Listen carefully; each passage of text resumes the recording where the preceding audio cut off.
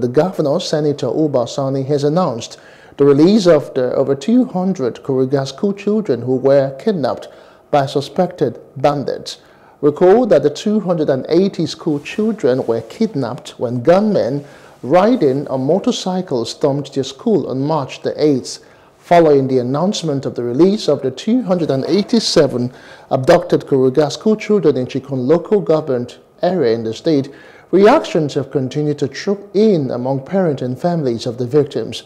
They express joy and excitement even though they are yet to see their children.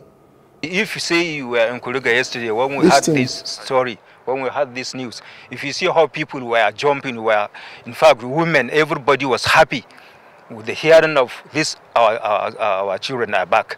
Very, in fact, people were jubilating.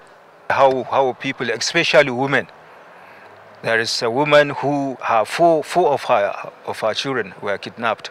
She could not eat, she could not sleep. In fact, I can tell you some are even dead. Some parents are dead. I'm just praying maybe by tomorrow I will see her. I tell you sometimes 12 o'clock, 1 o'clock in the night, I will wake up.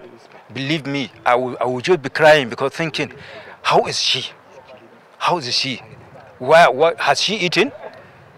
You see, I think of that because I know if, if, if say she's at home, normally before she goes to school in the morning, she eats, and then she comes back again for breakfast, and then you know, when they close two, two, two o'clock, she, she, before she goes for Islamia, you know, she takes something, you know, I'm in fact always playing with her in the house. But Meanwhile, the state governor, Senator Uba Sani, has received two armored personnel carriers, APCs, and a special mobile police squad has been deployed to the Kuriga community to boost the security of the area.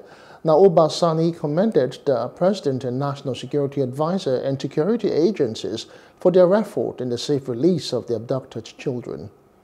That the Inspection of Police have uh, given us two APCs and it will go a long way in really helping us in addressing the problem of security because like I said, we need uh, more personnel on ground, we need more boots on ground, and uh, now that we have two more APCs in Kaduna, I believe the police command in Kaduna will certainly have something to use that could certainly help us in reaching out to some of the very critical areas that need security attention.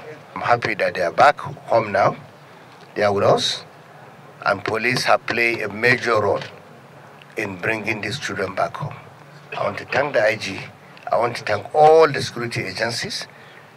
I want to especially thank President Bola Tinubu, the National Security Advisor, Malan Nuhu Ribadu, the Chief of Defense Staff.